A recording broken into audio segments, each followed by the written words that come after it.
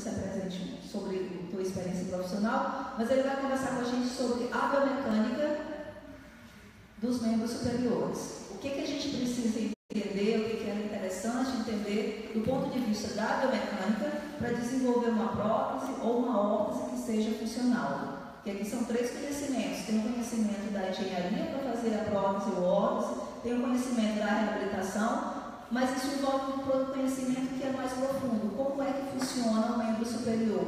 E quando a gente pensa em fazer uma prótese órtese, a gente está pensando em um membro superior com alguma patologia.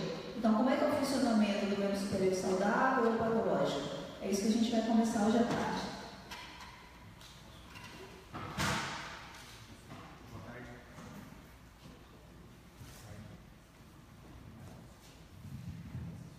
Pessoal, boa tarde.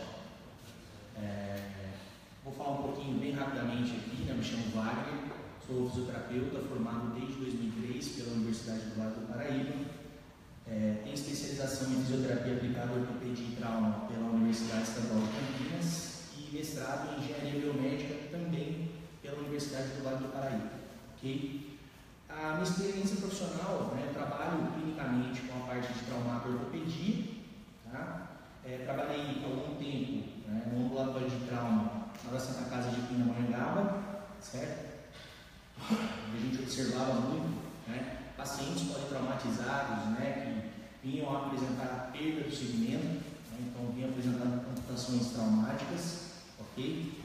É, hoje eu trabalho aqui no Centro Reviva, na clínica, né, na frente ali da ITEP, ok? Trabalho com essa, continuo trabalhando com essa parte Trabalhei bastante tempo na parte de biomecânica de movimento humano no laboratório de biomecânica da Univap, como aluno de iniciação científica.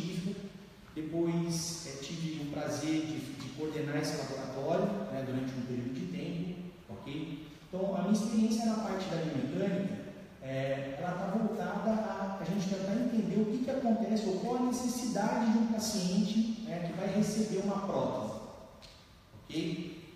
Vou passar aqui fazer uma introduçãozinha breve dos temas, porque eu acho que vocês já estão, né, vocês já estão familiarizados, né? Bom, nós vamos falar de prótese, não tem como falar de prótese sem a gente entender o que é amputação, né? Amputação é a remoção de uma extremidade do corpo mediante cirurgia ou acidente, ok? Quando a pessoa retira cirurgicamente? No caso de um, paciente diabético, por exemplo, que foi cortar uma unha, ocorreu um processo séptico ali, infeccionou, ele não tomou os devidos cuidados, que gerou uma septicemia, né, uma infecção generalizada, e aí o paciente precisou ir para a cirurgia para fazer a retirada do segmento. A prevalência é maior de membros inferiores do que superiores, mas existe né, é, relatos na literatura é, é, dessa, é, desse, de, dessa sequência de eventos que eu falei para vocês aqui acontecendo também para os membros superiores. Membro superior geralmente está associado com o quê? É, acidente trauma, ok? Ou malformações, tudo bem? Aqui está né, um mapinha aqui, os níveis de amputação, aqui membro inferior e aqui membro superior. Daqui para cá, ó, transcarpal, nível de acometimento, desarticulação do punho, né, desarticulação do cotovelo, aqui em cima, a transradial, aqui embaixo, né, a transumeral, terço médio de úmero, e a desarticulação do úmero, ok? corta e faz a desarticulação do segmento. Perdão. Bom, beleza. O que, que a gente precisa pensar aqui? Cada segmento desse amputado, ele vai gerar para a gente o quê? Um coto. Tudo bem? Eu preciso pensar o seguinte, a partir desse coto, eu tenho que pensar como protetizar o paciente, porque ele vai perder o segmento, ele vai perder a movimentação, certo? E uma vez que ele perder esse segmento e perder a movimentação, tudo aquilo que você usar, né, no sentido de protetização, vai servir para restabelecer né, a função dele de alguma maneira. 100% dá para a gente conseguir? É difícil, tudo bem? E esse é um dos fatores que levam, às vezes, a pessoa a não protetizar da forma adequada. Ele vê que ele não consegue fazer, e às vezes é mais fácil ele se adaptar com outro lado da equitação do que ele tentar utilizar e fazer um treinamento adequado de reabilitação daquela prótese. Okay? Então a gente sabe aqui que um dos principais problemas na sociedade moderna né, é a integração de pessoas com algum tipo de deficiência nas tarefas do cotidiano. Muitas vezes até para a gente é complicado a realização de, de trabalhos funcionais. Imagina uma pessoa que não tem o segmento. Imagina a pessoa que não tem o segmento e ganhou uma prótese. Né? A quantidade de informação sensorial que essa pessoa perdeu que ela vai ter que readquirir com o que sobrou, prejuízo muito grande. Tudo bem? Mas está aí, né? nós temos vários sistemas de protetização aí na qualidade, né? alguns de baixo custo, outros de alto custo, né? mas de um modo geral, a prótese é um componente artificial tem por finalidade suprir necessidades e funções do indivíduo separado por amputação, trauma ou deficiências físicas de nascença. Então, como é que a gente vai pegar essa pessoa que ou nasceu, teve uma malformação ou sofreu um trauma? Como é que a gente vai fazer? Vamos protetizar. Legal. Quais características a gente precisa observar nesse elemento de substituição, né, nessa prótese? Será que ele é muito pesado? Será que o que sobrou, o membro residual, esse coto, ele vai conseguir fazer o movimento? Ele vai conseguir sustentar o peso da prótese? Né? Como é que eu vou pensar no encaixe? Tem que pensar no encaixe, o acoplamento do membro residual com o encaixe da prótese. E depois o que foi perdido? Qual o prejuízo que, que o paciente teve? Ok? Foi mais embaixo, foi mais distal, foi mais proximal? Número de estruturas que ele perdeu. Tá? É, tem uma coisa que o pessoal geralmente não considera, né? mas quando o paciente ele perde um segmento, ele usa uma prótese, é, os nossos músculos eles trabalham ali né, para fazer o movimento para a gente, obviamente, estabilizar alguns segmentos durante determinados movimentos, tudo isso em conjunto, mas eles também atenuam fatores de sobrecarga. Eles reduzem o fator de sobrecarga resultante no segmento articular. Se eu tenho um membro artificial, eu perco esse fator de sobrecarga e acabo sobrecarregando outras estruturas. Ok? Então, uma das. Uma, é, eu tenho que pensar. Existe um contexto muito grande, uma dimensão muito grande né, para pensar em como vou protetizar essa pessoa. Porque se depois ela vê que é muito mais difícil, gente, tem aderência. O paciente vai ficar protetizado ali, gasta-se muito dinheiro com prótese, a gente observa muito isso em membro inferior.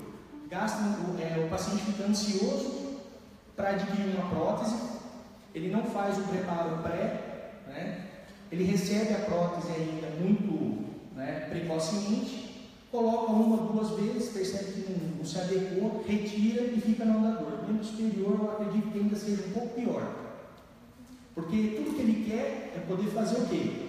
Movimentação de preensão. Tudo que ele quer é poder chegar com um objeto e segurar esse objeto. E muitas vezes, né, formato não permite. Ou é mais difícil do que ele esperava. Tudo bem? Então, olha lá. É isso que o paciente quer paciente protetizado ele quer o que? A função, dependente do nível que ele sofreu a amputação.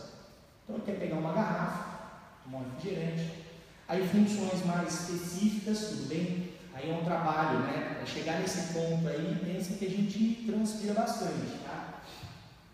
Ele segurar com precisão essa balinha e conseguir, junto com a outra mão, abrir uma balinha. Né? Segurar uma moedinha com essa precisão, te realiza várias coisas que a gente nem percebe, né, pessoal? Por exemplo, você pegar um copo desse aqui, ó, simplesmente segurar um copinho plástico. Como é que o corpo sabe a quantidade de força que ele precisa executar para não pegar esse copinho sensível aqui, ó, e apertar com tudo e quebrar ele? Né? Se eu segurar o copo vazio, eu seguro ele aqui no momento quebrou. Eu não apertando demais e também não estou apertando de menos.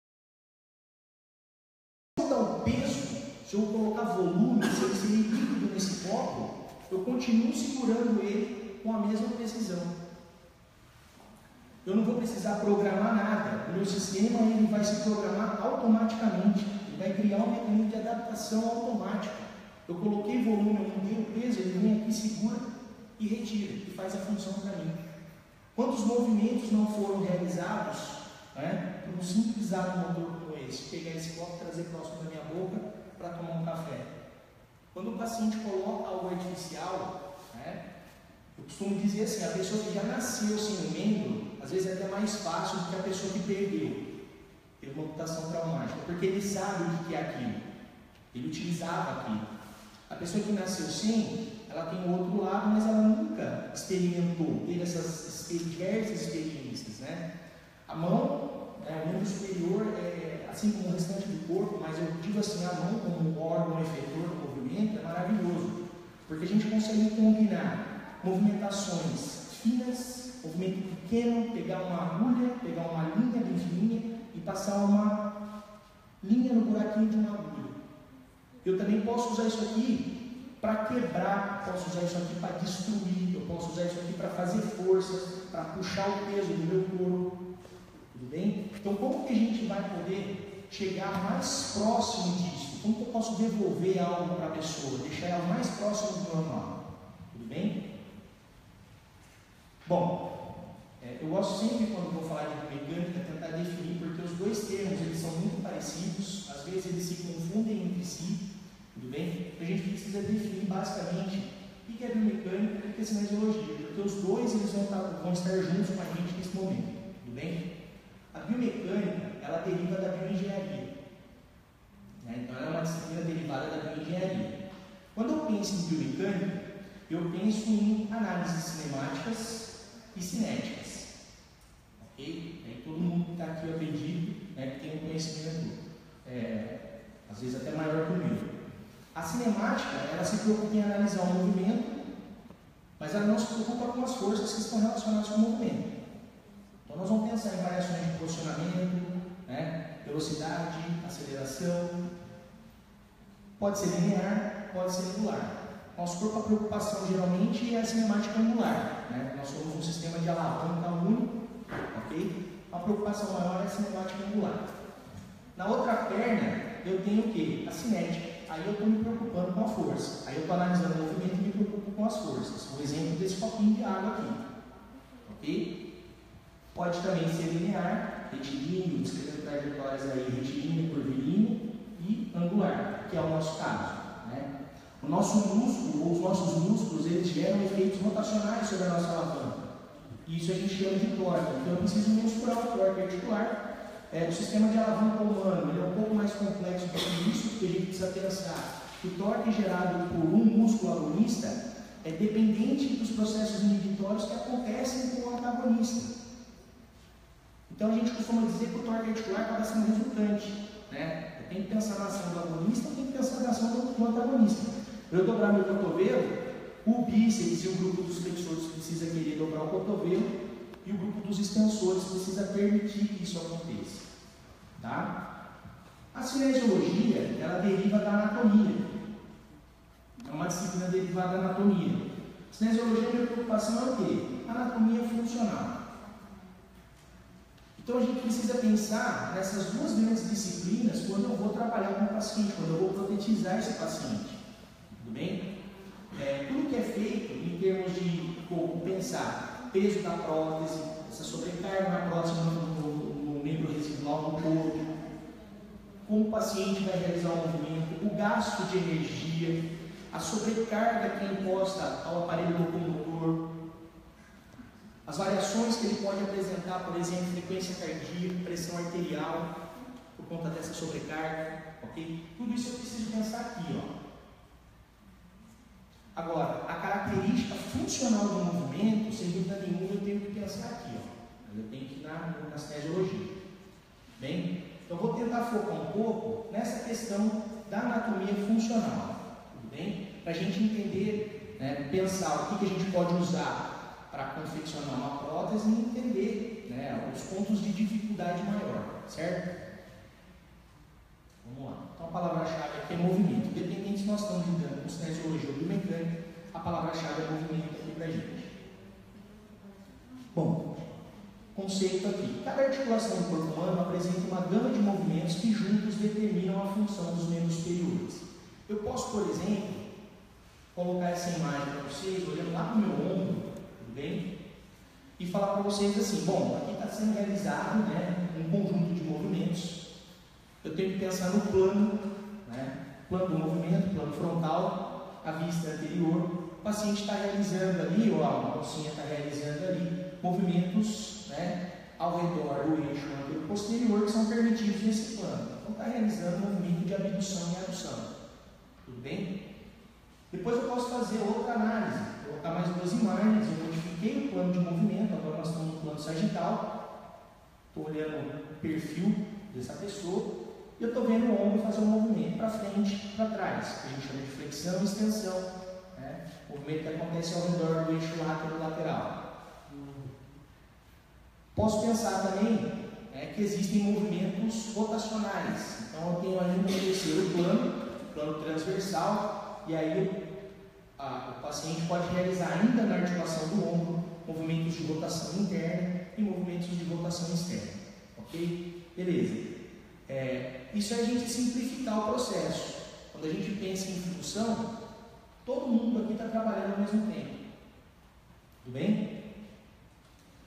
Bom, as características aqui das articulações, né, membro superior. Então o ombro ele começa aqui, ó, é cintura escapular, vai começar aqui em cima.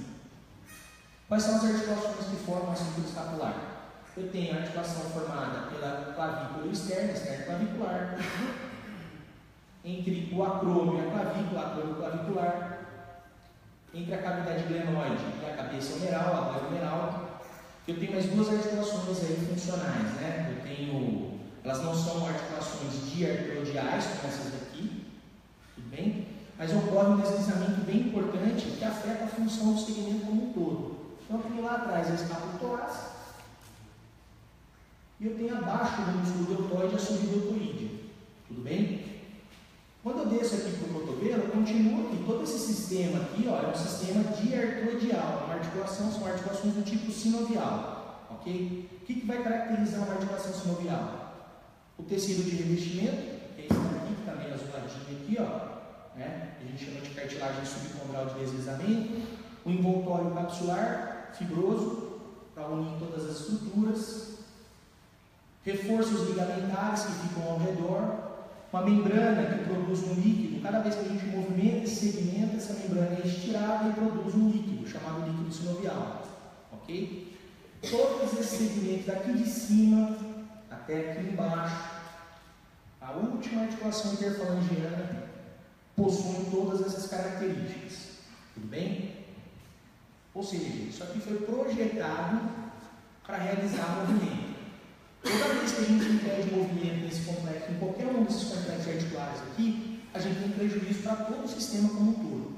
A articulação subcondral fica mais fraca, a cápsula fica ressecada mais aderida, produz, a membrana fica hipofuncional, produz menos líquido, o líquido que fica dentro, represado, fica mais viscoso, tudo bem? Todos esses são fatores que dificultam o movimento.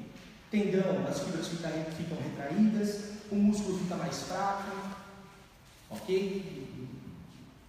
Aqui na minha articulação do cotovelo, é, eu tenho o número distal, se articulando com o rádio com a uma, ok?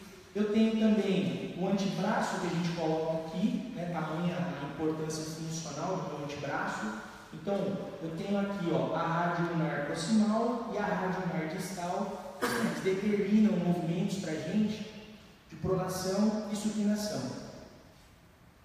Chegou aqui no punho, né, eu tenho rádio lunar distal com a primeira fileira do carpo e a primeira fileira dos ossos do carpo com a segunda fileira dos ossos do carpo. Então, aí eu tenho esse conjunto de movimentos aqui que estão acontecendo, né? os desvios, ulnar radial, flexão e extensão do meu corpo. E depois, né, o órgão efetor. Percebe que se a gente for parar para pensar do ponto de vista funcional, tudo que está acontecendo no meu ombro, que está acontecendo no cotovelo, antebraço, punho e a mão, é para facilitar o trabalho de quem? Da própria mão e dos nossos dedos. Então, se a gente parar para pensar bem rapidamente, a gente vai ver assim: ó, ah, eu quero pegar minha ponteira. O meu corpo, instintivamente, já calculou a distância que o meu braço tem que ombro tem que se movimentar. Eu não vou nem ir demais, e vou empurrar isso aqui, eu não vou nem me aproximar demais, e também não vou me afastar muito. Primeiro, porque eu não vou conseguir fazer. Segundo, que também intuitivamente o corpo sabe que quanto maior eu estiver distante do objeto aqui para segurar, né, mais força o músculo vai precisar gerar. Isso afeta o torque resultante. Tudo bem? Então, basicamente, você tem um objeto para se pegar, o seu corpo já sabe mais ou menos a distância que você tem que ficar para movimentar seu ombro, para estender seu cotovelo, para pronar seu antebraço, para fletir, deixar seus dedos em semiflexão para facilitar o acoplamento. Peguei o que eu quero, eu trago para próximo de mim. Percebe que a gente não fica assim, ó, eu poderia ficar assim o tempo todo com o meu braço aqui, ó. Mas a gente não faz isso. Né? Gasto de energia seria muito maior. Então, uma vez que eu peguei o objeto, o que, eu faço? Ó, deixo o meu braço próximo do meu corpo. Só vou fazer quando houver necessidade, mas eu vou trazer de volta. Tudo bem? Então, tudo que eu tenho acontecendo aqui nessas articulações acontece em função do meu órgão efetor, ok? Bom, essa imagem aqui caracteriza muito bem agora a gente pensando articulação por articulação, né? Ela caracteriza muito bem isso que a gente acabou de falar aqui. Isso aqui é chamado de cone de circundução, né? é relatado pelo Capandi. Né? É, o cone de circundução implica no quê? Se a gente for analisar planinho, eixo, frente, antes, nas lâminas anteriores, isso aqui não é funcional. Ok? O conjunto de movimentos, agora se eu pensar no cone de circundução, se eu colocar aqui toda a possibilidade de movimento e começar a combinar, olha onde que eu posso colocar minha mão no espaço. Até aqui atrás. Ó. Tudo bem? Isso sim é funcional. Então, o fato dessa articulação apresentar, né, ela sinovial, mas ela é uma articulação esferoidal. Bem, a cápsula articular dela não é como as outras. A cápsula articular dela tem uma folga, que é chamada de recesso axilar. Então ela tem o quê? É, é um grande paradoxo essa articulação, é bacana da gente estudar. Porque ao mesmo tempo que eu tenho capacidade né, anatômica e estrutural pra, que permite que essa articulação faça tudo isso de movimento, eu tenho elementos de estabilização que ficam ao redor para evitar que aconteça algum acidente, como por exemplo o ombro cair. Tudo bem? Outra questão que é importante, às vezes a gente olha para o ombro e imagina ele posicionado no plano frontal, nossa escápula ali retinha no plano frontal. Na verdade, a escápula ela apresenta um plano próprio para justamente facilitar o trabalho de mobilidade do ombro. Então a escápula não está posicionada assim no plano frontal ela está posicionada no plano oblíquo, ela não está posicionada nem no plano sagital nem no plano frontal. Então ela tem um plano próprio, um plano escapular, aproximadamente 40, 45 graus. Isso vai deixar seu ombro ligeiramente oblíquo nesse sentido. Se eu pegasse e deixasse ele retinho no plano frontal, eu ia ter prejuízo no movimento, principalmente quando eu tivesse que cruzar o eixo sagital. Se tivesse que cruzar a linha eu não ia conseguir me travar na metade do me travar mais ou menos aqui, nem cruzar meu braço que eu conseguia cruzar. Ok? Aqui a amplitude de movimento desse complexo. Né? Então a gente observa a abdução de 0 a 180 graus. Ok? A gente tem que entender que até aproximadamente né, 60 graus eu tenho muito movimento acontecendo na minha lateral. A partir disso, a minha escápula começa a entrar. Tudo bem? Geralmente antes ela já entra e isso se estende até o finalzinho do movimento de abdução. Isso que a gente fala né, de ritmo escapulomeral, essa relação de 2 para 1, um, cada 2 graus de amplitude. Cada numeral vai ter um grau acontecendo na escápula torácica. Movimentação super importante né, da escápula porque ela vai reorientar a cabeça numeral no espaço. Ela reposiciona. E isso aumenta. Né? Qual a função disso está acontecendo? Aumentar o de posicionamento, para alcançar coisas mais no alto. Ok? É, no finalzinho da amplitude de movimento, eu tenho participação da minha coluna, então há uma discreta inclinação da minha coluna aqui. É compensatória, mas ela existe. Né? Tudo, pensem sempre assim, tudo no sentido de aumentar a amplitude de movimento, você levar a sua mão né, para alcançar lugares onde você não conseguiria. Funcionalmente, para ter função, eu preciso do quê?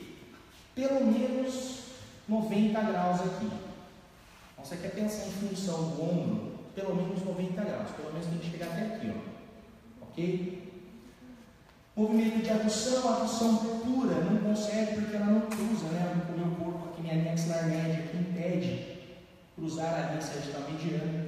Então, sempre que eu pensar em adução, Esse movimento que cruza a linha sagital mediana, eu tenho que pensar o quê? Em combinação com movimento de flexão, combinação com movimento de extensão. Geralmente, para a função, a gente pensa mais aqui, ó, um flexionado a 90 graus, uma abdução horizontal. Ok? Flexão de 0 a 180, né, os movimentos de projeção lateral e anterior sempre maior amplitude, embora a gente saiba que vai acontecer mais aqui, respeitando o plano da escápula. Extensão de 0 a 55 graus, rotação lateral de 0 a 90 e rotação medial, se chegar até aqui, né, 0 a 70, algumas pessoas se tiver né, uma protuberância abdominal avantajada, 0 a 50, para um pouco no meio do caminho. Tá? Mas quando a gente observa às vezes algumas literaturas aí de 0 a 120, quer dizer que chegou mais ou menos até aqui, você está considerando isso daqui. Ó. Ok? Beleza. O que, que geralmente tem que ter então uma prótese de membro superior quando ocorre a desarticulação desse segmento aqui, ó. O que a gente precisa pensar? Precisa favorecer o trabalho de quem está abaixo. É sempre assim. Pode ser que você não vai encontrar né, uma prótese que vai fazer essa movimentação para você, é o que você quer. É bem difícil. Geralmente o movimento, se ela for bioelétrica, o movimento vai estar acontecendo aonde? Ou do outro lado ali que o cara faz o movimento, tensiona o cabo, e aí solicita a movimentação, ele pode estar interligado na própria musculatura residual. Geralmente o peitoral é muito usado, ok? Para fazer isso daí. Mas se for só aqui assim, por exemplo, algo, uma estética, uma híbrida, né? A tendência é favorecer o trabalho de quem? Cotovelo ou mão. Então, às vezes é só favorecer, mexe aqui, trava, articula em um ou dois pontos, e aí a mão vai movimentar. A pessoa movimenta o ombro aqui, tensiona o cabo, mão abre, mão fecha. Ok? Bom, complexo articular do cotovelo. O cotovelo vai apresentar o quê? Um grau de liberdade no plano sagital. Então, o que se destaca aqui é que o nosso cotovelo ele não é reto. Então, não é ideal que se projete nada que fique retão. A não ser que você consiga fazer o que? Essa pronaçãozinha aqui, ó. Para deixar o membro numa posição mais funcional. Do contrário, se ele tiver que ficar né, supinado, Deixar reto aqui né, implica em perder esse ângulo de carregamento de 15 graus, que é importante caso a pessoa queira segurar alguma coisa comigo. Né? Para afastar o seu segmento do seu corpo, você não ficar batendo a perna na sacola, por exemplo, né, para deixar o movimento mais funcional. E a forma como a nossa trópia, que é essa região aqui do úmero distal, e o capítulo são projetados, esse ângulo aqui que é formado, de aproximadamente 15 graus em relação ao olécano, à medida que eu for flexionando o cotovelo, percebe que o ângulo de carregamento diminui, eu consigo aproximar minha mão, fica retinho. Tudo bem? Então, essa angulação aqui é feita justamente para isso. Quando em extensão, para segurar algo, afasta do meu corpo, quando em flexão, que é o que eu preciso para ter aproximação, ele vem próximo do meu corpo. Ok? Está lá, flexão de 0 a 145 graus aproximadamente, extensão de 0, pode ser tolerado até um ângulo negativo posterior, aí, de menos 5 graus, tudo bem? É, isso é característica de algumas, de algumas raças, por exemplo, o oriental tem uma tendência a apresentar hiperextensão. Tá? A fossa do olecra é um pouquinho é, mais aprofundada, o que vai diminuir o impacto né, do olecra na sua fossa. Então, em vez dele zerar a extensão, ocorre uma permissividade de menos 5 graus. Tudo bem? O que, se espera que uma prótese de cotovelo vá fazer por nós? Vai fazer pela pessoa amputada. Né? Espera-se que ela consiga né, auxiliar nas funções do que vem abaixo dela, dela e abaixo dela. Qual é a função? A função do cotovelo, basicamente, estender então, meu ombro leva, o cotovelo ele estende e dobra. Então, ele pega o objeto que você quer alcançar e ele aproxima aonde você quer. Quer pentear o cabelo? O cabelo dobra. Quer se alimentar? Tudo bem? Tanto que se a gente for observar, se a gente fizer uma pequena correlação com o que acontece com, os nossos, com um paciente neurológico, né? Paciente que teve, por exemplo, um AVE, que apresentou comprometimento em metade do corpo, né, uma hemiparesia. Quando os neurônios começam a se reorganizar, né, de que forma que eles se reorganizam? Né? O movimento, quando ele volta para a pessoa, ele vai voltar de que jeito, geralmente? Essa tentativa né, de se reorganizar não consegue fazer tão bem feito, obviamente por conta da característica da célula, da característica da lesão, mas percebe que quando retorna a parte do movimento, o membro superior ele tende a ficar jeito? Próximo do corpo, meu ombro próximo do corpo, cotovelo dobrado, né? pronado, tendendo a pronação, os dedos, ó, dobrados, tudo dobrado, e o polegar em oponência aqui fechadinho, às vezes fica até assim, ó. e o punho em flexão, então, quando ele fica muito em flexão, a gente percebe que até supina mais. Então, a gente tem que pensar, fazendo uma relação, mas a gente precisa pensar nisso. Qual a função do cotovelo? O ombro ele vai levar o segmento para onde ele quer, ó, muito de grande.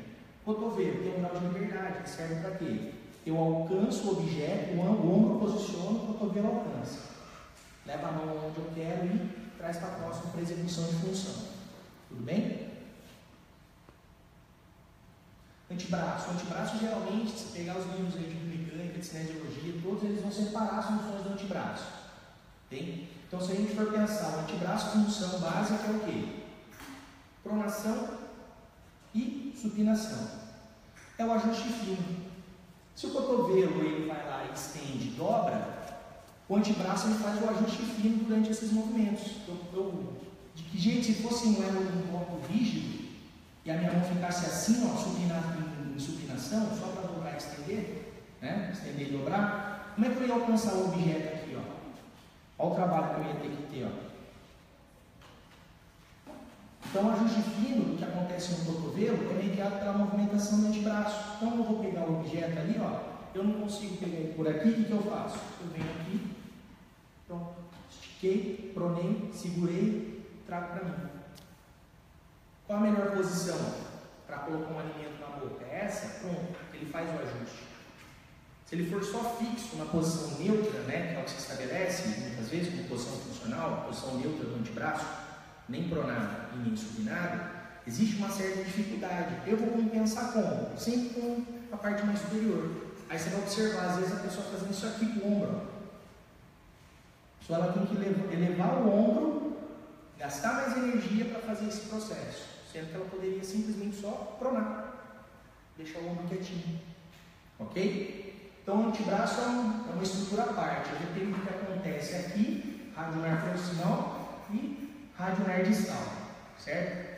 Geralmente, o movimento que acontece é um movimento de pivô aqui, ó. Né? O rádio ele vai rolar sobre a unha. Então, ele inverte aqui, né? Se a gente for analisar o meu rádio do movimento de pronação, pronar aqui, ó, ele gira em torno do próprio eixo e ele leva a lona para o outro lado, ele cruza a articulação. Ok? Mesma coisa, perto, né?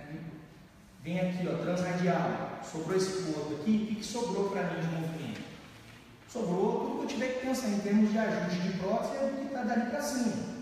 Então tem que mexer o que? Flexão de cotovelo, infelizmente eu vou perder o ajuste fino de posicionamento da minha mão. Ok? Vai lá. Você pode ter algo mais estético, algo mais funcional, ok? Algo que pelo menos, né, vai fazer o quê? Isso aqui, ó. Essa movimentação simples aqui já resolve o problema. Tudo bem? Eu vou apresentar tudo que a gente pode fazer em termos de movimento, mas no fundo, no fundo, no final, você vai conseguir fazer o quê? É isso aqui, ó. Certo? Punho. Punho é aqui, ó. Tem que pensar o que acontece entre o rádio, principalmente o rádio, e a primeira fileira do carpo, ok? E o movimento residual na segunda. O punho, a grande função do punho é gerar o quê? Estabilidade para os trabalhos que serão realizados pela mão. Certo? Complexo articular do punho, flexão de 0,85 graus, extensão de 0 a 75 graus, o desvio NAR de 0 a 40, e geralmente aí não é um, é um consenso, mas espera-se que você tenha geralmente uma relação aí, né, para cada 20 de desvio radial, eu tenho o dobro de desvio lunar. Ok? Sempre uma proporção. o paciente apresenta 15 de desvio radial, você vai observar na avaliação que ele vai apresentar 30 né, de desvio lunar, sempre o dobro. Ok? A gente perceber aqui, né, a gente já começa a observar o efeito do que vai acontecer lá na frente. Né? Então aqui eu tenho um ângulo mais oblíquo no primeiro e no quinto. Percebe que a sua mão está quadradinha, né? O primeiro e o quinto dedo, ó, eles são mais oblíquos. Por conta do posicionamento desse ossinho aqui, ó. Trapézio, né? Aí eu venho o trapezoide, captado e o amato aqui, ó. Posição do amato. Quando vai se articular com o primeiro metacarpo e o quinto metacarpo, ele deixa a mão com essa característica o segundo, terceiro e quarto mais retinho, e o primeiro e o quinto dedo da mão mais oblíquo. Tudo isso para facilitar o trabalho né, de preensão, ok? Principalmente o movimento de oponência do polegar, que a gente já vai ver. O que a gente espera novamente? Né? Substituiu esse sistema. Substituir o sistema, vou ter basicamente um bloco rígido para facilitar a minha mão fazer isso. Ou então eu vou ter um sistema aqui embaixo, né, ou superior, para girar e poder fazer a movimentação que eu preciso. Mas geralmente é rígido, né? Eu só vou mexer aqui, ó. Eu vou perder o gradiente de estabilidade, certo? A nossa mão, né? Que a gente entende entre final da segunda fileira e os ossos do metacarpo, ok? Então, basicamente, se a gente for analisar nossa mão do ponto de vista funcional, independente da geometria do objeto, né, se ele é redondo, se ele é quadrado, cilíndrico, percebe que a mão vai acoplar direitinho, ela faz um bom acoplamento e facilita o trabalho dos dedos. Então, vou ter, de licença. Independente do formato do objeto, independente do tamanho do objeto, tudo bem? Se eu precisar segurar, a minha mão vai se acoplar. Então a mão é extremamente versátil nesse sentido. É um, é, eu acho que é quando você vai estudar um pouquinho mão, você vê que é, um, é, um, é uma estrutura fantástica, maravilhosa, porque o que ela consegue fazer para a gente, você consegue observar na verdade, né, é, quanto a sua mão trabalha por você quando você não tem ela. Então, quando você observa o processo de protetização de uma pessoa, o trabalho que dá para ele fazer essa movimentação, né, é, aí você observa o quão maravilhoso é a sua mão para você, coisas que ela está fazendo e você não está nem percebendo. Ok? Novamente, o que, que se espera? Né, uma substituição parcial. Agora a mão vai fazer o quê? Eu preciso de mobilidade. Como ela é muito móvel, ela ajusta faz o ajuste do dedo, poder acoplar e segurar o objeto, independente do tamanho, independente do formato. Agora eu preciso ter o que? Mobilidade. Né? Percebe que ela não é reta, a mão nunca é reta, ela forma sempre o quê? Um cone, né? um meio cone ali. Ela é fechadinha, certo? Então, se eu perdi isso, basicamente eu vou perder essa mobilidade e vou ter uma dificuldade na hora de fazer o ajuste, certo? O ajuste vai ficar onde? Eu obviamente vou ter um ponto mais fixo, rígido, e o ajuste vem aqui, ó. Tudo bem? E aí os dedos, pessoal, né? Para falar dos dedos, a gente vai começar a pensar aqui, ó. Metacarfalangiana, interfalangiana proximal e distal, do segundo ao quinto, interfalangiana proximal do primeiro. Eu tenho uma gama de musculatura intrínseca absurda na mão. Né? Se a gente for contar, por exemplo, ó, eu tenho a musculatura, né? interósseos palmares que fazem a aproximação dos meus dedos para facilitar um trabalho de preensão, interósseos dorsais para aumentar o alcance dos meus dedos, dependendo do que eu quero atingir, ok? Eu tenho músculos que vão fazer a flexão, só aqui, ó, da metacarpa falangiana, para eu poder segurar algo, que fazer uma pinça mais fina, polpa a polpa, ponta a ponta, ok? Os umbilicais. Eu tenho músculos né, que fazem só flexão da, da interfalangiana proximal, só da interfalangina distal, os flexores superficiais e profundos dos dedos, ok? Eu tenho músculos agora só do polegar. Pensem nisso, olha a quantidade de ferramental para isso aqui trabalhar. Só do polegar a gente vai ter um adutor curto, longo, um abdutor longo, um abdutor curto, um flexor longo, um flexor curto, um extensor longo, um extensor curto. E eu ainda vou ter né, o famoso né, o creme de la creme, que é o abdutor. Abdutor não, perdão pessoal. Enchi a boca mas eu falei bobeira. É, o oponente do polegar, que é o grande divisor de águas em termos de função. Né? O fato dele se opor aos demais dedos da mão né, mostra para mim que eu preciso pelo menos dois a três dedos né, para ter todas as funções que esse aparelho maravilhoso aqui desempenha. Ok? Então temos muitos músculos ao redor, músculos pequenos que são responsáveis, ora, por fazer trabalhos muito delicados, ora, existe a possibilidade de fazer trabalho extremamente grotesco com a mão. Ok? Bom, para quase finalizando aqui, tá pessoal? É, gostaria de falar aqui em termos de função, né? O que seria o ideal a gente readquirir, né? É, em termos de função, só para a gente ter um conhecimento. Tipos de preensão, trabalho que os nossos dedos vão fazer em relação à nossa mão, tá? Eu tenho basicamente três tipos, e depois vamos apresentar isso em classificações: digitais, palmares e centradas. As bidigitais, tá? Ou digitais, dois dedinhos, polegar mais um. Pressão por oposição terminal, que é essa daqui, ó, ponta a ponta. Pressão por oposição subterminal, pode ser polpa a polpa. Ok? Até agora trabalhos, né? Geralmente extremidade, né? Dedo. É, as bidigitais elas são preensões mais o quê? Para trabalhos mais é, finos, motricidade fina. Preensão por oposição subterminal lateral, né? então é a polpa do polegar com a face lateral do primeiro dedo. Ok? As preensões pluridigitais. Vou pegar um lápis, a gente tem a tridigital, ok? Tetradigital, tentei achar uma figura mais bonita, peguei no de mesmo, né? É uma figurinha meio feia aqui, segurando a bolinha, ok? E pentadigital, segurando um objeto maior. Só considerando, né, a gente não, nenhum momento desse tipo de preensão, a gente está levando em consideração o apoio com a palma da mão, tá pessoal? Só a ponta do dedo aqui. Ou face lateral dos dedos, ou polpa ou ponta. Certo?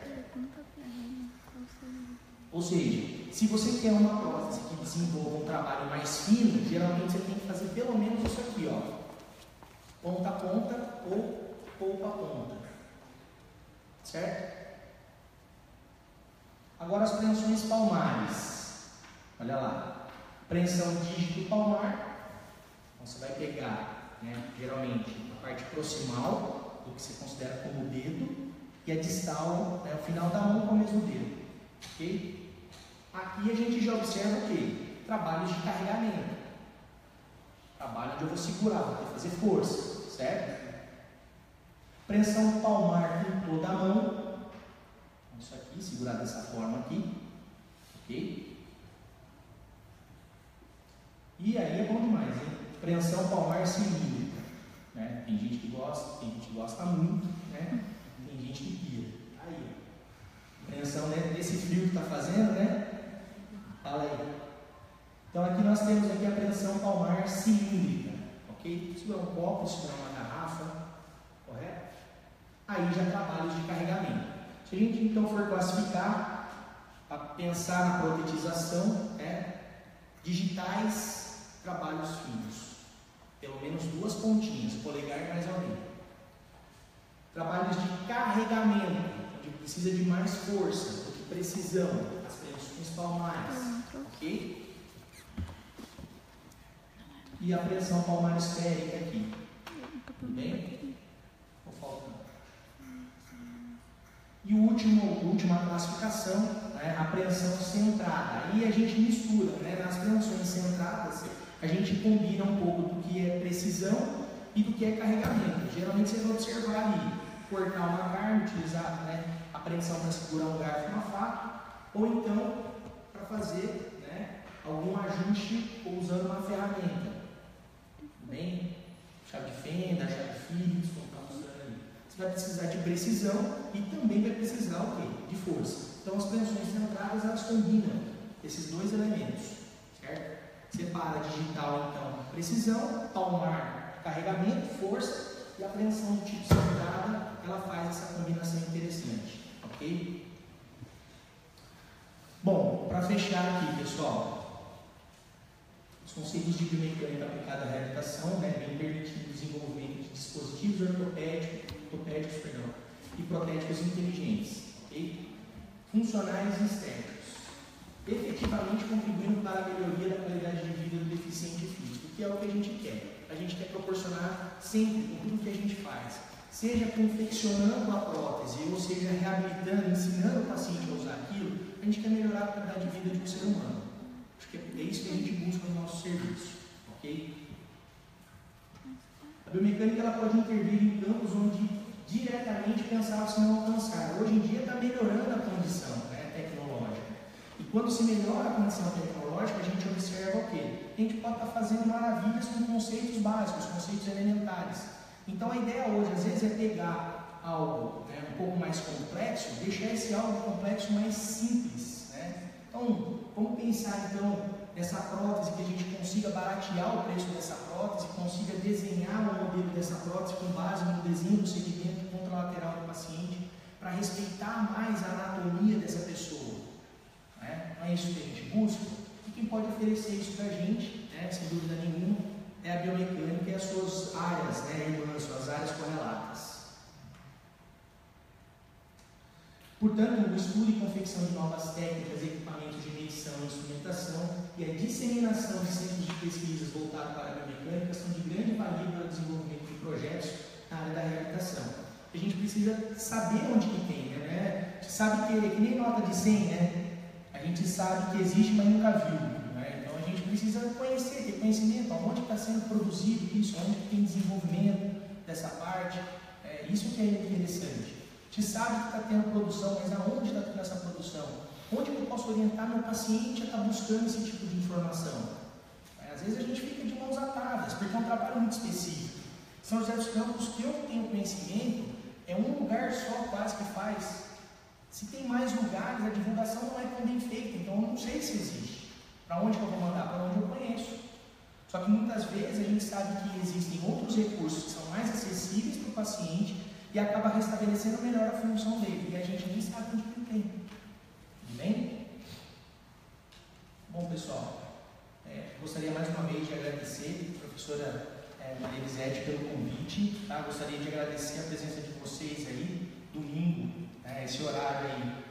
Vocês poderiam estar fazendo qualquer outra coisa, mas vocês estão aqui ouvindo a gente, certo? É, vocês são diferenciados por conta disso, acredito. Ok? Espero que eu tenha é, podido acrescentar em alguma coisa, certo? O meu e-mail pessoal está aqui. Tiver alguma dúvida, quiser trocar alguma informação, fiquem à vontade, pode né, já cai direto no celular, no celular já tenta dar uma resposta, ok? É, agradecer também ao Unifesp pelo espaço, né, por, por, permitir que vocês desenvolvam esse maravilhoso trabalho, tá, pessoal? É, e eu gostaria de agradecer mais uma vez. Joia, pessoal? Boa tarde.